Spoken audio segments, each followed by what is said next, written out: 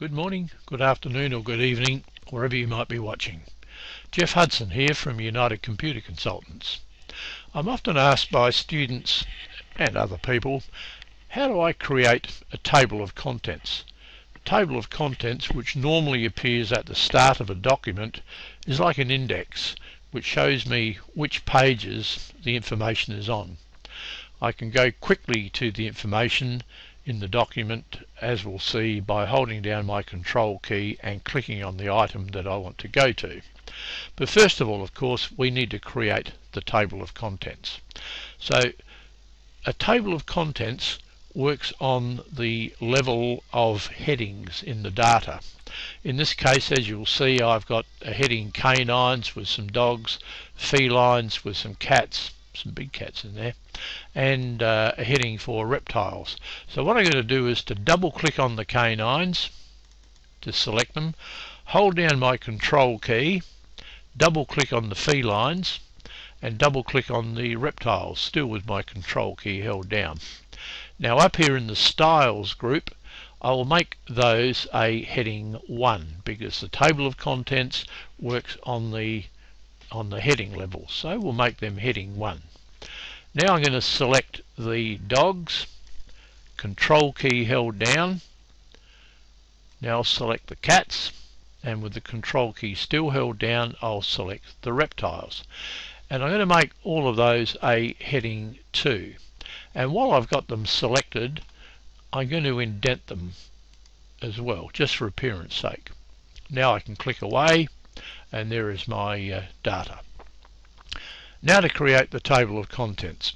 As I mentioned, the table of contents would almost always appear at the start of a document. So what I'm going to do is to click just before the canines and insert a page break up here in the pages group in the insert tab. And now I can see that I have a page above so I'm going to control home to go to the start of that page which is now page 1. All of the information is now on page 2. And all I need to do is to click on the References tab, choose Table of Contents over here in the Table of Contents group, and I can choose one of the automatic ones. There are a couple there. Or I can create a manual table, but I'll choose the uh, first of the automatic ones. And as soon as I click on it, there is my table of contents with the data suitably indented and with the page number showing.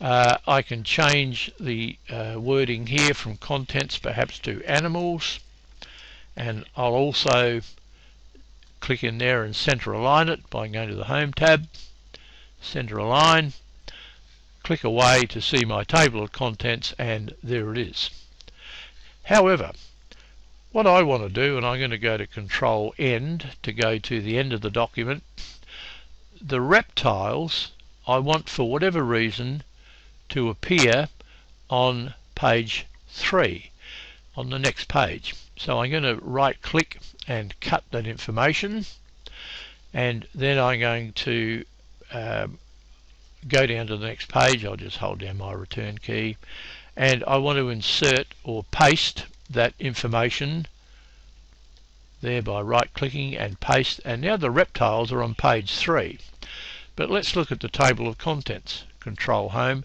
They still show as being on page 2. So what I need to do is to click in the table and update the table. And I want to update the page numbers. I could update the entire table, but I just want to update the page numbers. So watch what happens here for the reptiles.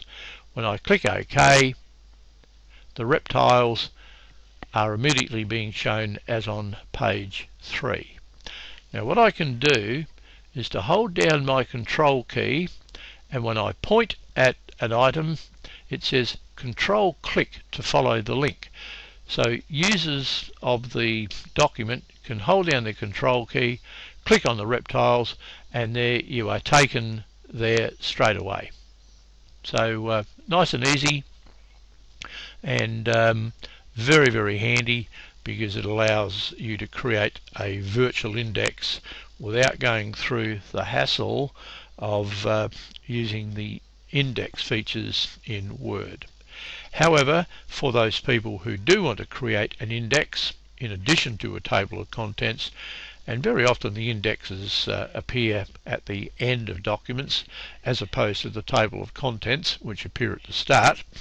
Uh, I'll be uploading a video shortly and uh, if you subscribe, if you're not already a subscriber, uh, you will be automatically notified in your email of when that particular video is available.